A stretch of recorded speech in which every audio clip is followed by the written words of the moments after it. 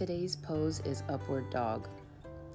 Lying on your stomach, bring your hands underneath your shoulders, elbows pointed towards your feet, and your feet are tucked. As you get ready to dive into the pose, you are going to press up through your kneecaps, engaging your, your legs as well as your glutes. Then you are going to press up, driving your chest up and forward.